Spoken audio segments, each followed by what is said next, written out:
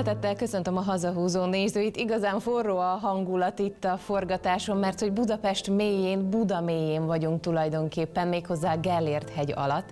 És hát a mai adásunk az a Gellért hegyről, és Gellért hegyről minden, ami történelem, ami kultúra, ami fürdőkultúra, és a Gellért szállóban fogunk kezdeni, aztán eljövünk ide is, és majd kiderül, hogy ha velünk tartanak, akkor kiderül, hogy hol vagyok most pontosan, és utána kalandozunk egy kicsit a fürdők világában, illetve megismerhetjük a Gellért hegy villa történetét is, mert hogy ahány ház annyi történetet, annyi múltat, annyi tragédiát rejt magában, de ugyanakkor a boldog békeidőkbe is elutazunk egy kicsit, tartsanak velünk.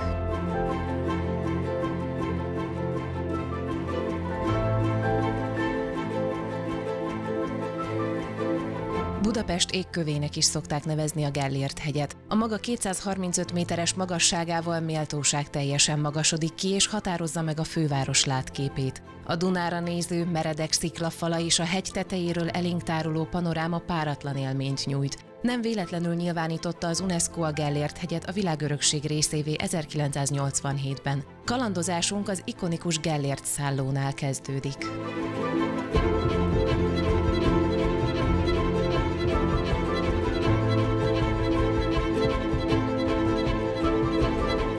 Ez a környék, ez itt itt ugye a Duna meghatározó, és itt éppenséggel így a lágymányosnak a kezdetén vagyunk. Tehát a Gellért hegynél ott összeszűkül a Duna, mert a Gellért hegynek ez a sziklái, ezek folytatottak a Duna medrében is, tehát a, és az volt ott a természetes rév, tehát ott lett a legkeskenyebb. Utána viszont boldogságosan így kiterült, tehát hogy ez itt, ahol a mű egyetem van, és ez az egész lapály, ez volt a lágymányos, és a lágymányosi tó egyébként, ami időszakosan hát egy vízborított a terület volt. Úgyhogy ez a rész, ami innen délre esik, tőlünk délre, az egyáltalán nem volt beépítve, itt nem voltak épületek, úgyhogy csak ebben az időszakban, tehát amikor megépül a Ferenc József híd 1894-től, illetve hát már előtte való évtizedben próbálnak gátat építeni és kezdik feltölteni, de a műegyetemnek az első épülete is csak 1909-es, tehát hogy ez az időszak így a századforduló az, amikor ez elkezd egyáltalán ez a rész úgy magára találni, vagy beépülni. És akkor jött a döntés, hogy itt, itt a fürdő, már alapból itt volt egy kis komplexum egy a gyógyfürdőre épült azért szolgáltatás, de az közel sem ekkora pompában, mint ami lett belőle. Hát egyáltalán nem, de ez volt a sáros fürdő. Az úgy, a sáros fürdő, na hát a sáros fürdő, az ugye neve is mutatja, ezt a feltörő forrás iszapot is hasznosította, és a termálvizet, de hát ez egy ilyen deszka épület volt, amihez egyébként egy kétszintes, hát szálló, inkább fogadónak mondanám is csatlakozott, ami egy nem volt volt egy nagyon drága a hely, de a budaiak nagyon ragaszkodtak hozzá, és az van a, az újságcikkekben, hogy amikor lebontják a Sárosfürdőt, ami egyébként pont a hídnak a tengelyében volt, tehát hogy azért bontották le, akkor mankókat találnak a padláson, és akkor elgondolhatjuk, hogy ez azok hagyták itt, akik meggyógyultak, és kinőtt a lábuk, szóval utána elszaladtak, miután a Sárosfürdőben egy jót fürödtek. Az 1904-ben lebonyolított építészeti tervpályázaton ugyan négy első díjat osztottak ki, végül a fővárosi közgyűlés két terv egyesítésével és a végleges tervek kidolgozásával három építészt, Sebestyén Artúrt, Hegedűs Ármint és Terk Izidort bízta meg. Az építkezést 1911-ben kezdik meg, és az első világháború ugyan lassítja a munkálatokat, de végül 1918-ban megnyitotta kapuit. Beszéltünk róla, itt egy szecessziós, meg egy ilyen neobarok fúzió lett belőle a végén, és akkor, hogyha így ránézünk, akkor ez egy teljesen ilyen eklektikus lett. Hát szecessziósnak szoktuk mondani, mert inkább a külső díszítményei, hogyha megnézzük a korlátokat, azon madarak, szívek, tulipánok vannak, tehát ez abszolút szecessziósnak mondható a díszítmény világa. Talán a térszerkezete az, az amiben ez a barok megvalósult, tehát hogy egy ilyen erről a frontról egy szimmetrikus épületről van szó, ami középen egy kupolával van kiemelve a középtengelye, de maguk már a kupoláknak a formái azok is inkább szecessziósak, és hát azért, ha ránézünk, inkább szecessziósnak mondanánk, csak nem a magyaros szecesszió, tehát nem ez a Lechneri vonul igazán. Elcsépelt mondat egy kicsit, hogyha a falak beszélni tudnának, de talán itt a Gellért Hotelben van ennek egy kis üzenete. És aki nekünk arról fog mesélni, hogy ki mindenki szállt meg itt a Gellért Hotelben, és miért mondom azt, hogy ha a falak beszélni tudnának, a Zsigmond Gábor történész lesz.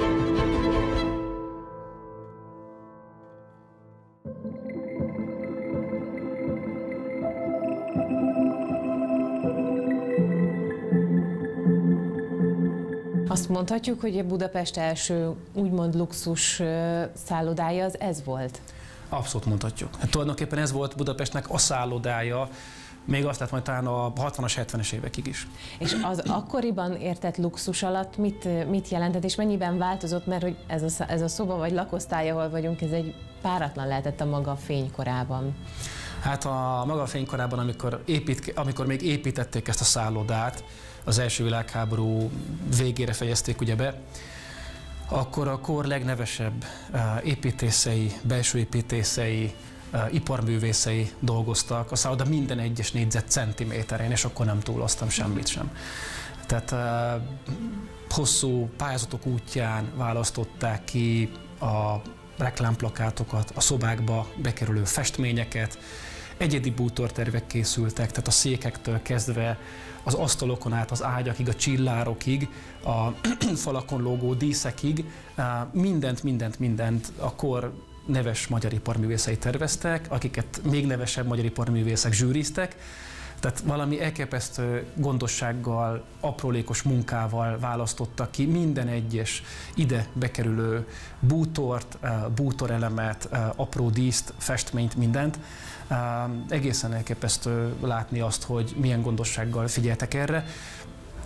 És hát az az igazság, hogy ha, ha azt nézzük, hogy a háború elhúzódása miatt az átadó is folyamatosan csúszott, tulajdonképpen idejük is volt arra, hogy nagyon-nagyon komoly alapossággal figyeljenek arra, hogy, hogy mi is kell ide be a szállodába, de nem spóroltak semmin. Tehát, hogy, hogy még olyanról is tudunk, hogy az első világháború idején a szerb királyi palotából kézen közön elhozott, aztán megvásárolt szőnyegek kerülnek be a Gellért szállóba, és kétségtelenül híres festőknek az alkotásai kerülnek a falakra.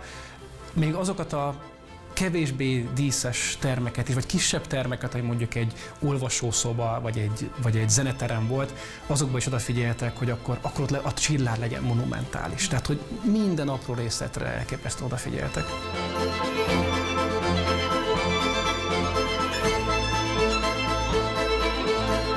Valójában szerintem a Gellért történetében az egy egészen izgalmas momentum, hogy, hogy a megálmodói mindvégig hittek abban, hogy ez a szálloda ez tényleg képes lesz arra, hogy Budapestet fölhelyezze a világ turisztikai térképére, és, és valójában igazolt őket a, a, az idő, mert a két háború között itt aztán tényleg mindenki megfordult. Aki a 20. század más, első felének a politikai, művészeti, kulturális, tudományos életét formálta valamilyen módon, az ebben a szállodában járt, az biztos. Tehát írók, Nobel-díjasok, tudósok, politikusok, arisztokraták, Ugye az első világháború utáni kataklizmát követő mindenféle trónfosztottak, arisztokraták, trónkövetelők, bankrablók is, tehát itt tényleg mindenki megfordult. Ugye köztük az első magyar szépségkirálynő, az első magyar származású Miss Európa, Simon Böske is, aki 1929-ben nyerte el ezeket a címeket, és az egész, egész Európát bejárta, és amikor Párizs, Nizza, Francia Riviera, az olasz városok és Bécs érintésével egy európai turnéról lényegében hazatér, akkor a keletében olyan hatalmas tömeg várja, hogy lovasrendőröket kell kirendelni, hogy el tudjon jutni ideig a Gellért szállóig, a lakosztályig, ahol egyébként aztán szintén több száz ember várt azon a kis picike téren, és detektíveket rendeltek be a szállodába, hogy az ő nyugalmat biztosítani tudják. Másik emeleten szállt meg egy lakosztályt kapott itt, és hát persze ő tulajdonképpen a kor világsztárja volt. Tehát amerikai diplomatáktól kezdve Lehár Ferencig, nem monakói hercegig mindenki rajongott érte, és hát minden, minden lap, minden újság írt róla Európa szerte. Egészen elképesztő történetek kötődnek a, a szállodához.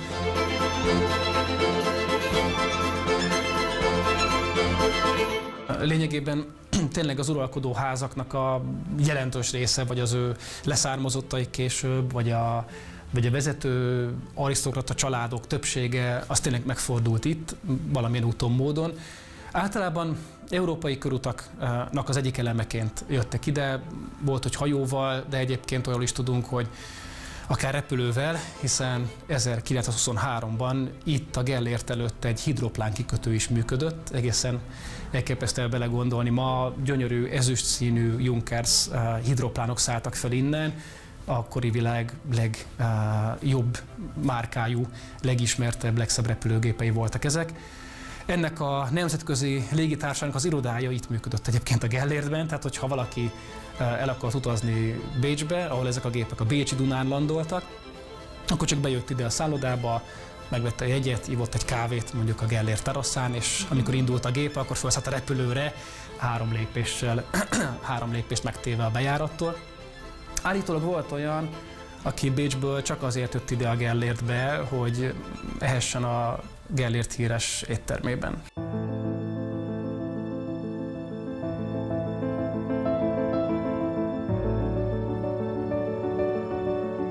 Második világháború után a, a szálló, miután nagyon súlyosan elpusztult, felújításra szorult, és ugyan megnyitották 46 márciusában már, de ezt a bejáratot nem tudták megnyitni, mert a legnagyobb károk itt a Duna felőli oldalon voltak, úgyhogy a fürdő bejáratán keresztül jöttek a szálló vendégek is, és az addigi 170 szoba helyett csak 50 szoba üzemelt, és a más, negyedik emeleten kellett az éttermet is berendezni, úgyhogy hiába vannak a gyönyörű hatalmas éttermei a, a szállónak, az az első időben nem működött és aztán folyamatosan újították föl, de az igazán nagy felújítás az 57-től 61-ig zajlott, és ezért itt ez a belső tér, tehát a fogadótér, az a, hát a 60-as éveknek az ízlését tükrözi.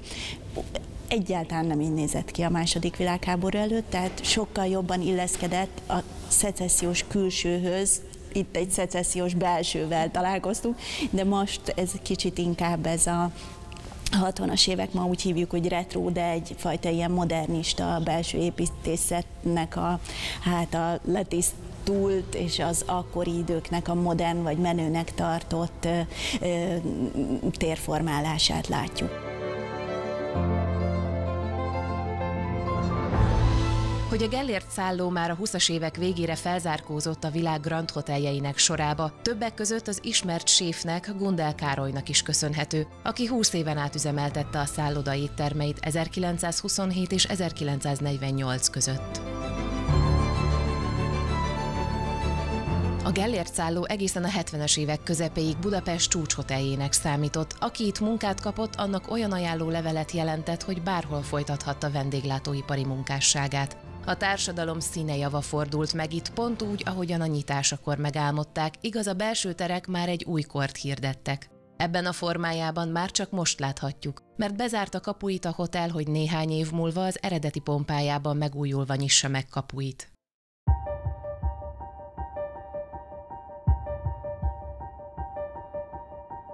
A fürdő azonban üzemel továbbra is, pont úgy, ahogy a történelem során mindig is. Mert hogy attól kezdve, hogy felismerték a gyógyforrás jótékony hatását, állt itt valamiféle fürdő. Persze közel nem ebben a pompában, de hogy hol kezdődik a fürdőzés élménye, azt most megmutathatjuk önöknek, mert bizony nem azzal, hogy lepakolunk az öltözőkben.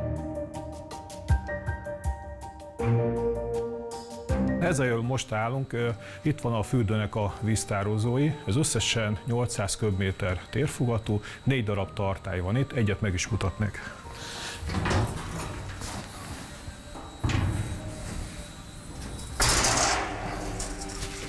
Ez egy teljesen zárt tartály, egy fekete HDP fóliával bélelt. Maga a víz benne az 44 Celsius fokos, és itt lehet érezni csak tisztán a termálvizet az épületben, teljesen zárt a rendszer, máshol nem tudunk hozzáférni. Igen, itt jön már ez az autentikus, kicsit ilyen kénes ennek Szerű. a víznek van egy minimális iszaptartalma, amit a kutakból kapunk, és azt pihentetjük itt. Az iszaptartalom leül a tározónak az aljára, és a fölötte lévő részből a, szivattyú csoport ellátja a fürdőt vízzel. Ha most ebből egy pohárra, egy üvegpohárral kivennénk, akkor egy ilyen szűr, sötét vizet kapnánk, vagy ti, olyan tiszta vizet, mint amit majd látni fogunk a medencékben? Ö, majdnem olyan tisztát, mint a medencében, egy nagyon kicsit opálos maga a víz. Az alagútnak ez lenne az első pontja, ahol megállnánk. Ez csak egy jelképes hely, gyakorlatilag hallunk egy ventilátort a fejünk fölött. Ez arra szolgál, hogy az alagutat kiszellőzteti, és még a 60-as, 70-es években már a régi forrás mellett szükség volt rá segítésre, ez a kútnak a maradék, amit itt látunk. Innen termeltek ki még termálvizet, ugye ezt gyakorlatilag 1980-tól felhagyták ennek a kútnak a működését, és mivel fölfel a hegyben van egy járat egész az utcáig, most ezt szellőztetésre hasznosítjuk, egy hirdetőoszloppal van álcázva a dolog, és mínusz 15 fok alatt gőzölg a hirdetőoszlop tete, ugye a hőmérséklet különbség miatt egy érdekesség ebből az alagútnak mindjárt a kezdeti szakaszából. A második dolog, amit mutatnék, hogy ez a két nagy távhővezeték, hogy ez a kelenföldi hőerőmű és a Budai vár irányába szállítja a távhőt. Gyakorlatilag az alagút 1969 és 78 között építették, ez egy viszonylag fiatal alagút Budapest mögött elért egy történetében, és ugye egyik funkciója az volt, hogy betették ide ezeket a távhővezetékeket, illetve a Gellért fürdőnek, meg a Rudas fürdőnek még a kutyait bővítették. Ez a hely, most vagyunk, ez egy barlanga. Sziklakápon alatti térben vagyunk érdekességképpen a Gellért hegyben. Maga amit fölnézünk a mennyezetre, látunk borsóköveket. Ezek gyakorlatilag karfiol formát vettek fel, gyönyörűen látszódnak körbe mindenhol. Vannak benne aragonit részek, azok a kis fekete pöttyök, és amit erről tudni kell, hogy itt feljöttünk a lépcsőn, itt 150 millió évet jöttünk felfele. Ennek azért van jelentősége, mert ez a rész korábban alulról kapott vizet, és így alakultak ki ezek a csodálatos képződmények, és mi kiemelkedett a hegy, azért került ez magasabbra, mint ahol lent voltunk. Gyakorlatilag ez egy lencse, hogyha körbenézünk, látunk egy ilyen barnás-vöröses vonalat a teljesen körbe rajzolódik. Ez egy ilyen vasoxid anyagot takar. Az az fölötti rétegben volt a lencse, ugye alatta látjuk, hogy vannak szerszámnyomok, abba az irányban ott van egy sötét alagút, van egy kijárat a Gellért. Hogyha a szabadság itt zebrájánál megállunk, és így jobbra tekintünk, látunk egy ilyen boltíves lefalazott járatot, ami alapból szürke a háttérszín, és a grafitik időnként változnak rajta. Az ősforráshoz tartunk éppen. Az ősforrásnál vagyunk, de ez helyileg hol helyezkedik el így a földrajzilag? A Gellért téren helyezkedik el, Szabadsághídról a villamos elfordul balra, és az év alatt vagyunk most len 11 méterrel az utcaszint alatt. Erről az ősforrásról azt kell tudni, hogy gyakorlatilag a történelmi adatokat tekintve 13. századtól vannak róla feljegyzések, utána minden történelmi korszak a saját kultúrája szerint használhatta a fürdőt, pontosan a forrást. Ugye számunkra ami érdekes, a 1890-es évek vége, 1900-as évek eleje, ugye akkor történt egy ilyen városvezetői döntés, hogy itt a Gellért teret rendezik, a régi sáros fürdőt, ami korábban volt, azt elbontják, és ide feltöltik a magát a Duna melletti részt, és építek egy ilyen hotelfürdő komplexumot és ennek köszönhetően, hogy ezt a forrás gyakorlatilag akkor rendbe tették. Azt kell tudni, hogy oldalirányban van 16 járat, 16 kis alagutat képzeljünk el, és az hozza be a vizet ebbe a nagy gyűjtőmedencébe. És az írták ezt régen sáros fürdőnek, mert barna színű iszap is jött fel, bugyogott fel, és a iszapnak nagyon jó gyógyító hatása volt. Ugye ez a forrás most per pillanat üzemen kívül van, gyakorlatilag 1980-ig lát el a fürdőt vízzel, azóta nem használjuk. A vízzel 28 és 32 Celsius mezőszfok között van most, ez változik. Másik érdekes adat róla, hogy ez a Duna vízszintjével ö, erőteljesen együtt mozog, az azt jelenti, hogy három nap diffivel megy. Tehát, hogyha a Duna emelkedik fölfel, akkor három nappal később ez is elkezd emelkedni, ha megy lefelé, akkor három nappal később ez is lemegy.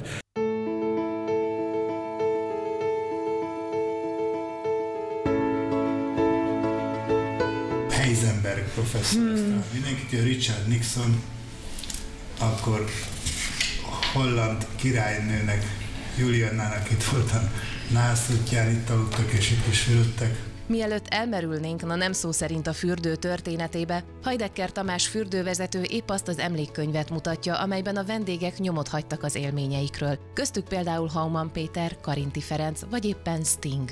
De sikertörténet sokkal korábban kezdődött.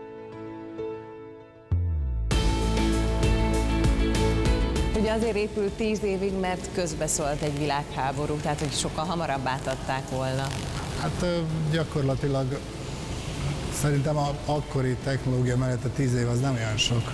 De ha már háborút említettük, azt elmondhatom, hogy soha nem zárt be a fürdő sem a két háború alatt, sem a forradalom alatt. Gyakorlatilag ez mindig nyitva volt, a szálloda és a fürdő is kivétel egyszer volt zárva egy hétig, mikor Eddie Murphy kibérelte, és az I Spy című filmet forgatták, de tulajdonképpen azóta is rengeteg filmet forgatnak itt a fürdőben. Olyankor viszont maximum egy kicsit korábban bezárunk egy órával, és ezeket általában éjszaka forgatják a filmeket.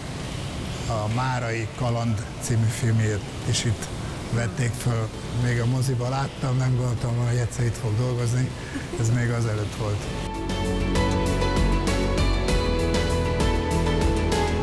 És itt a két szobor a két oldalon, meg ennek magának, ennek a medencés helynek is története van, mert hogy ez a férfiak fürdője volt. Igen, régen, hát a kinn a bejáratnál láthatjuk is, hogy, hogy férfi termál és női termál, ami azt jelenti, hogy, hogy ott csak a nők fürdőztek, természetesen ruha nélkül, ha akartak, illetve itt, ahol most állunk, ez volt a férfi termál. Ez a úgynevezett pesgő medence. Ennek az az érdekessége, hogy először, mikor megépült a szálloda, illetve a fürdő, akkor itt egy pálmaház volt. Én még olyan képet is láttam, hogy alul talán egy minigolf pálya is volt, és akkor hála Istennek valakinek támadtatott, hogy ezt a pesgő fürdőt megépítse. Azért pesgő, mert egy, egy folyamatos pesgetés, időközönként pesgetés történik, ami már azért nem egy ilyen újdonság, de akkor bizony ez az első. Ez mikor? Tehát ez ugyanúgy a nyitás, 1918-at írunk, vagy ez már kicsit nem, később? Később, később. Szerintem mikor a piac igényeket úgy felmérték, és akkor látták, hogy erre bizony mekkora igény lenne. Az igények persze nem álltak meg a pesgésnél, hiszen jöhettek a tenger hullámzását imitáló fürdős attrakciók. Ebbe a sorba becsatlakozott a Gellért fürdő is, és Sebestyén Artúr tervei alapján a díszudvarban megnyitották az elsők között a hullámfürdőt 1927-ben.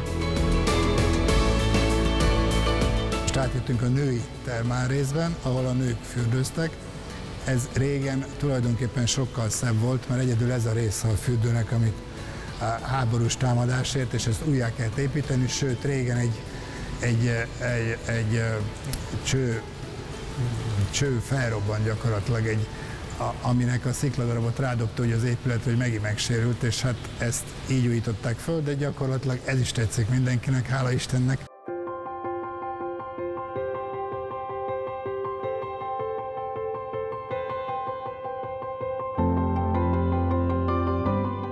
Magunk mögött hagyni a Gellért szállót és fürdőt, mert bár bőven lenne mondani valunk még, most belekóstolunk kicsit a Gellért hegyi millióbe. Gellért hegy az sokáig a szőlőbirtokokról volt híres, és hát országszerte híres borok készültek itt sokáig. Így van, hát egészen a középkortól kezdve először a török időkig inkább fehér borok voltak a budai borok, és hát az összes hegy, tehát a Gellért hegy, a Sashegy, a Rózsadomb, a Szabadsághegy, ez mind szőlőkkel volt borítva. Tehát egy csak olyan budai polgár létezett, akinek szőlője volt. Ez volt a megélhetésnek talán a legfontosabb alapja itt Budán. Hm. És az, hogy a Gellért hegyből aztán egy villákkal tarkított hegy lett, az, az miért van? Hát ez lehet, hogy egy kis gyökértetűnek közölhető, legalábbis komoly szerepe volt benne ennek a, a kártevőnek, ugyanis a filoxéra járvány pusztította el a Gellért hegyi szőlőket, ami olyan 1870-es évek második felében érkezik meg Magyarországra. Az utolsó jó budai szüret az 1882-ben volt. Akkor még egy nagyon jót szüreteltek, és ugye a török idők után inkább a vörösborok voltak jellemzőek, tehát kadarka, a tüzes budai vörös, a tüzes sashegyi, szóval, hogy ezeket emlegették, és és 82-ben még volt egy jó szüret, és utána lényegében nem tudtak már szüretelni, tehát sorra pusztultak el a tőkék.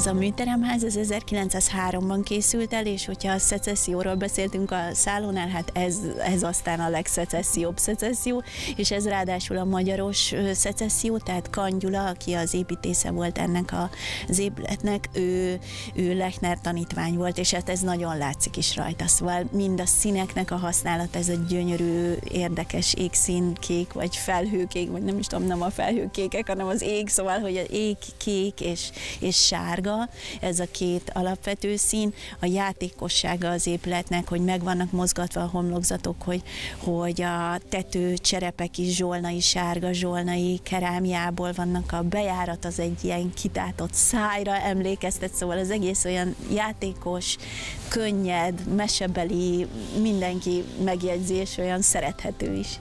Igen, ez már a maga korában is novumnak számított, mert hogy ilyen, hogy műteremház nem létezett, és ezt ugye kifejezetten a művészeknek, hogy legyen hol alkotniuk, dolgozniuk, és ugye mindjárt feltűnnek ezek a nagy ablakok. Hatalmas ablakok vannak, hogy minél több fény legyen, ugye a festészethez ez nagyon-nagyon fontos, és tényleg így van, ahogy mondott, hogy a 19. század végén ők az Országos Művész Tanácsban sürgették azt, hogy valamilyen műterem lehetőséghez és nem méreg drágán jussanak, hanem valahogy ez, ez oldódjon meg ez a műterem hiány, és ez egy ilyen sürgős és jogos kérés volt, úgyhogy, úgyhogy aztán ez, a, ez az Egyesület veszi ezt a telket, és ezt örök használatra kapják meg, tehát hogy itt, itt ma is művészek élnek.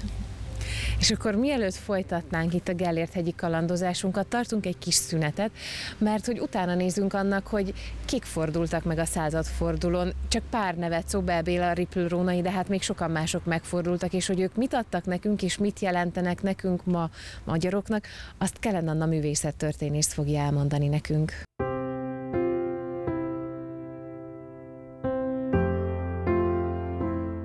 Rónai Józsefnek 1906-ban volt egy olyan kiállítása, ami szakmailag is és anyagilag is rendkívül sikeres volt, és olyannyira sikeresnek bizonyult, hogy utána már egy, ez egy másfajta életszínvonalat tett számára lehetővé.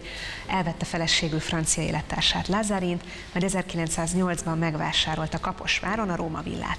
De a hideg teleket az továbbra is mindig Budapesten töltötte, mégpedig ebben a Gellért-hegyi műteremházban, ahol eh, hát egy rendkívül eh, élénk társasági életet élt. Épő Rónai József amúgy is egy nagyon jókedélyű ember volt a visszaemlékezések szerint, aki szerette maga körül a társaságot, és hát a korabeli művészeti élet leghíresebb figurái fordultak itt meg, például Bartók Béla, Móricz Zsigmond, Színei Merse Pál, olyan gyűjtők, mint Nemes Marcel, vagy a Szépművészeti Múzeumnak későbbi igazgatója Petrovics Elek, Meller Simon. Sőt, 1913-ban az akkor sikerei csúcsán lévő magyar festőt meglátogatta a német írófejedelem Thomas Mann is. Csari Zsónait most kiragadjuk, akkor ha utána a 20. századi életútját, illetve azt a hagyatékot, amit ránk hagyott, az hogy öröklődik, akkor mit tudunk elmondani, miért lehetünk rá büszkék, és milyen az a hagyaték, amit nekünk itt hagyott? Ripő Rónai József már az élete során is, és azután is a leg, az egyik legszerethetőbb magyar festők, akinek a, már a pályásfutása során is a legnagyobb gyűjtők és múzeumok is versenytek a képeiért, és ez azóta sincsen másképp.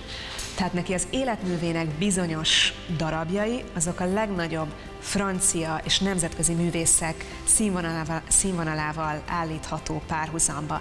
Nem véletlenül vannak festményei, például a Párizsi Musée d'Orzénak, hát a világ egyik leghíresebb múzeumának, azt hiszem, hogy öt darab ripőrónai festmény van a gyűjteményében, és ebből kettő az állandó kiállításán is látható. De vannak amerikai múzeumok, ahol szintén látható a ripőrónai József festményei, tehát ő, egy, ő létre tudott hozni egy olyan stílust, ami csak és rá jellemző, ami egyszerre nemzetközi és egyszerre magyar. A Czóbel Béla ő már sokkal később költözött egyébként ebbe a műteremházba, 1966-ban. Tehát ő ekkor már 80 éves volt, már abszolút túl a siker, tehát hogy már egy befutott, beérkezett, elismert festő volt a, tulajdonképpen a pályája vége felé, és amikor kiutalták neki ezt a műterem lakást, akkor az egy nagy öröm volt, mert még abban a korban is rendkívül korszerűnek számított, Szóbel ekkoriban Szentendrén élte a feleségével, és sokat szenvedtek attól, hogy a talajvíz ez gyakran elöntötte a Szentendrei kertet. Tehát, hogy ez egy meleg és, és korszerű és modern otthon volt akkoriban is, Először a második emeletre kapott egy lakást, de aztán eltelt néhány év, és akkor már annyira az egészsége meggyengült, hogy lift hiány leköltözhetett a földszintre, és ott nagyon sokat üldögélt a kertben, és oda hívta modellnek a barátait és a különböző ismerőseit.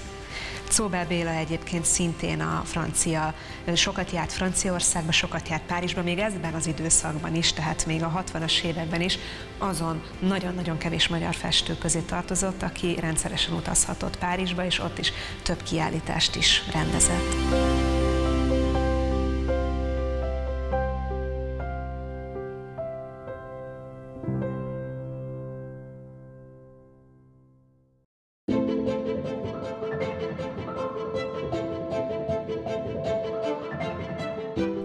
Kitérünk után a Magyar Szecesszió égkövének számító műteremház szomszédságában álló különlegesen szép villához megyünk.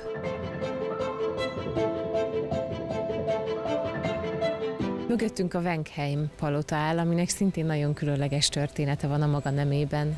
Így van, ennek az építetője Wenkheim József volt, és 1924-ben készült el, annak ellenére, hogy olyan régebbinek tűnik, de hát ez egy ilyen historizáló palota, gyönyörűek a manzárt szobái, az ablakai, ez a, a kapubejárat is nagyon különleges, egy ilyen fedett kapubejáró van, és hát Wenkheim József, ő volt a Józsi gróf, 1900 50-ben halt meg, tehát 1870 körül született, és és ő is egy, hát egyrészt nagyon gazdag volt, hatalmas birtokai voltak Békés megyében, ahogy az egész családnak, másrészt pedig volt az első ember, aki magánrepülőgépet vásárolt, és azzal ment Békésre le a birtokairól, és onnan jött fel Budapestre, aztán még idős korában motorozni is megtanult, szóval, hogy egy ilyen dendi és egy ilyen világfi volt, és hát a Wenkheim család az meg nagyon-nagyon izgalmas. Egyrészt ők, hát a név név az sokaknak ismerős lehet, ugye a fővárosi Szabó Ervin könyvtár épületéről, ami ugyancsak gyönyörű, és azt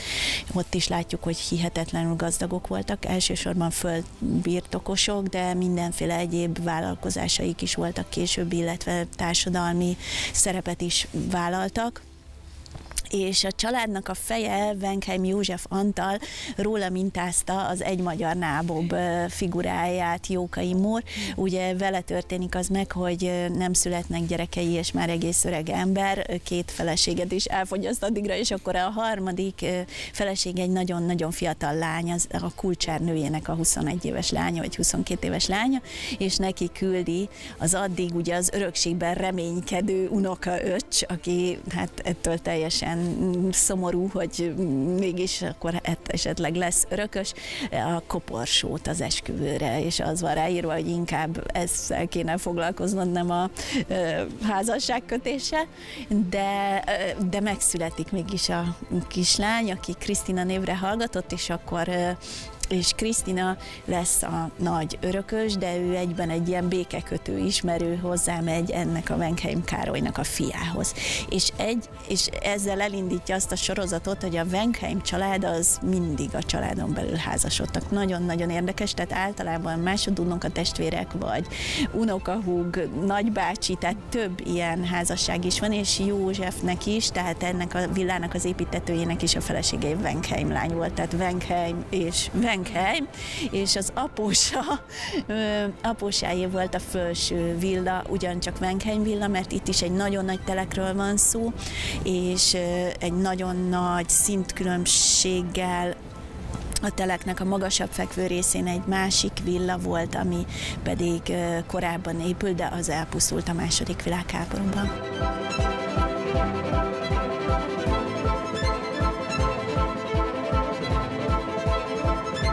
És hogy a második világháború mennyi arcát hagyta itt nekünk világba rejtve, azt mi sem bizonyítja jobban a következő helyszínünk.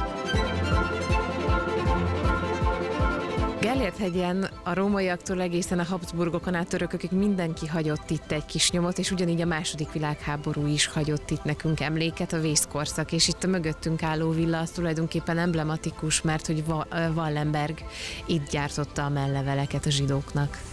Igen, valóban Raúl Wallenberg embermentő tevékenysége kötődik ehhez az épülethez egyebek mellett. Ugye sajnálatos módon tudjuk, hogy Raúl Wallenberg sorsa ismeretlen, tehát valahol a Szovjetunióban vesztette az életét, de kétségtelen tény, hogy azt a rendkívül bátor cselekmény sorozatot azt innen koordinálta. Ez ugye a svéd nagykövetségnek volt akkor az épülete, de természetesen nem svéd nagykövetségnek épült. 1906-ban húzták fel ezt a épületet, Bayer Dezső nevezetű gyógyszerész, aki 1874-ben született, ő volt az, aki megrendezte, ezt, megrendelte ezt a villát. Ő később a Bayer Krucsai Dezső nevet kapta, hiszen nemesi címet szerzett, és nem véletlen a svéd szál, a svéd kötődés, mert ő svéd alkonzulként, konzulként és főkonzulként is működött, úgyhogy valószínűleg ez összefügg az, hogy a svéd nagykövetség előbb-utóbb ide költözött be.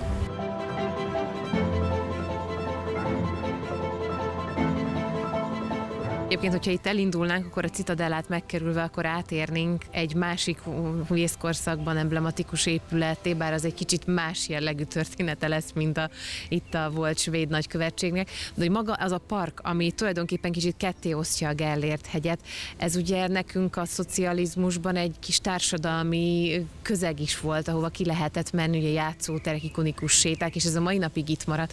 Tehát, hogy ez a kimegyünk a szabadba, de nem is ez ennek egy ilyen retrós feelingje, ez hogy, hogy alakult ki, és hogy kötődik a Gellért hegyhez? Hát 1948-49 után kialakuló pártállami Magyarország ugye teljesen máshogy viszonyult a magántulajdonhoz, ennek számos tragikus vetülete volt, gondoljunk a vagyon elkobzásokra, és a államosításokra, és még nagyon sok minden más negatívumra. Ugyanakkor azonban azok a területek, például a Margit sziget, amit úgy tartottak számon, hogy úgymond az előkelőknek a vadászterülete, azt úgymond a nép számára elérhetővé tették. Persze ennek meg volt a maga ideológiai háttere, tehát minden áron hangoztatni kellett az, hogy a, hogy a nem működő, ám de létező szocializmusban minden közös tulajdon. Ezzel el lehetett fedni ennek a társadalmi és gazdasági rendszernek számos hibáját. De tény, ami tény, hogy nem véletlen az 50-es években alakul ki a korábbiakhoz mérten tömegesnek nevezhető balatoni turizmus. Nem véletlen, hogy a Margit sziget is akkor lesz egyre népszerűbb, úgymond üdülőhely, már olyan értelemben ki lehetett oda sétálni és vissza lehetett sétálni, és ugyanez igaz a Gellért hegyre is. Tehát el lehetett azt mondani, hogy igen, kérem szépen a megfáradt munkásember, az fogja magát hétvégén, de kijön, hallgatja a madarak csicsergését, iszik egy jó sört, megcsodálja, hogy milyen gyönyörű Pest, majd pedig hazatér. Ez nem került sok pénzbe, nem került sok időbe.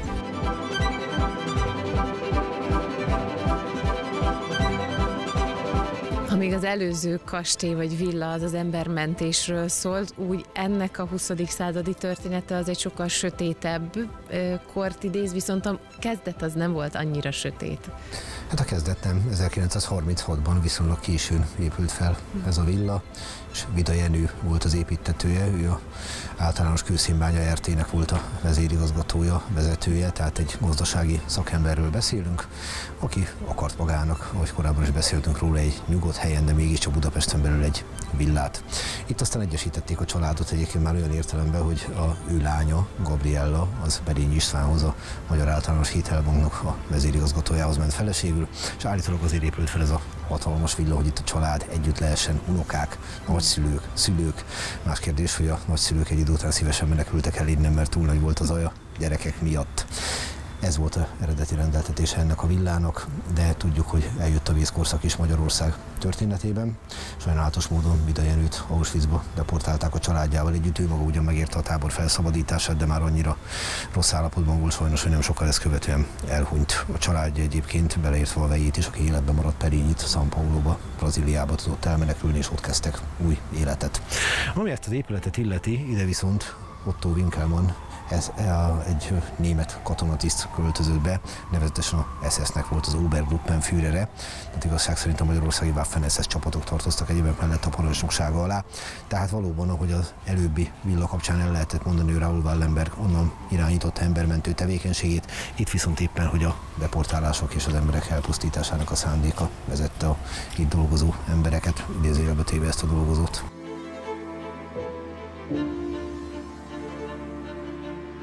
És akkor utána ugye vége a második világháborúnak, és elég zaklatott, van amelyik világ ugye beköltöztek, de a legtöbb világnak elég zaklatott jövőképe is volt utána. Hát ennek sem volt egyszerű a sorsa, ugye a család életben maradt tagjai, hogy beszéltem róla, ugye Brazíliában vetették meg a lábukat, és ott kezdtek új életet. Természetesen állami kézre került ez a villa is az akkori korszellemnek megfelelően. Egy darabig kollégium működött benne, aztán, ha jól emlékszem, talán az egyiptomi nagykövetség kapott helyet benne. Ugye jellemző ezekre a villákra, hogy nagyon sokszor állnak idézőjelbe diplomáciai szolgálatba, rezidenciaként vagy nagykövetségként tudtak funkcionálni. Aztán pedig a Magyar Külügyminisztérium kezelte 1990 utánig. Tehát, hogyha megnézzük ennek a villának a sorsát, onnantól kezdve felépítették egészen odáig, hogy mi történt vele a rendszerváltásig, azt lehet mondani, hogy a magyar történelem kicsiben megragadható ennek a sorsán keresztül.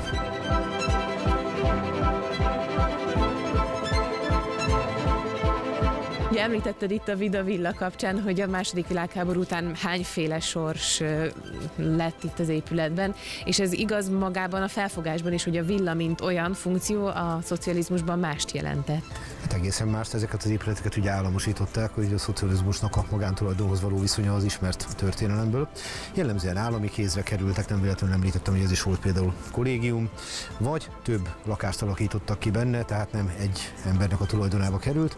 Ezzel együtt persze pontosan lehet tudni, hogy ez a államforma is létrehozta az új elitet, és kellő gúnynal szokták azt mondani, hogy az új elit az magáévá tette az általa gyűlölt rendszer elitjének az összes szokását, hiszen ugyanúgy vadászni járt, ugyanúgy előkelő világba költözött, és volt egy ilyen cinikus mondás is, hogy mi az új jelszó, világproletáriai egyesüljetek. Ez jó, illetve a világ közt azért felfelbukkan itt a Gellért hegyen a szociál kocka lakóépület is. Bukkanna föl, ugye egyrészt beépítettek minden létező területet, amit lehetett, amikor kialakultak a komplet utcák, meg a világháború során azért volt pusztulás, és ugye nem olyan stílusú épületekkel helyettesítették, ami a két háború közötti, vagy a háború, első világháború előtti időszakra volt jellemző, hanem hát a szocializmus korának a lenyomataival is találkozhatunk itt, mint ahogy a városban bárhol.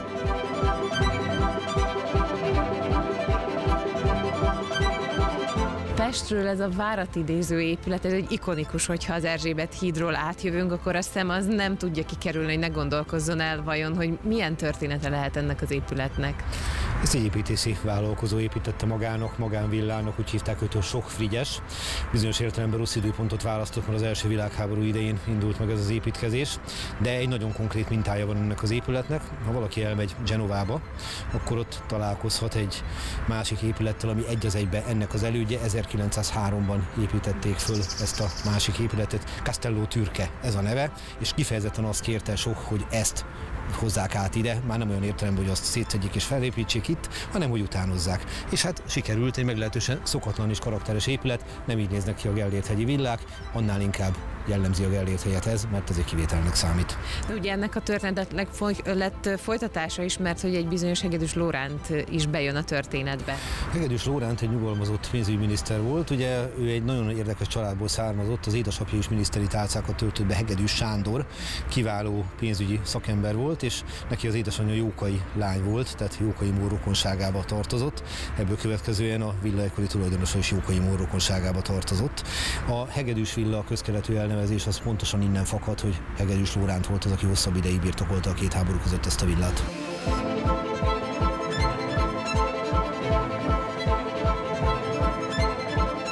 Csak belekóstolni tudtunk a Gellért hegyi világ történetébe, de talán arra pont elég volt kalandozásunk, hogyha legközelebb erre sétálunk, akkor meg-megálljunk egy percre elgondolkodva, a történelem körülvesz bennünket, és mint jó tanító próbál nevelni, hogy ne lépjünk bele kétszer ugyanabba a folyóba.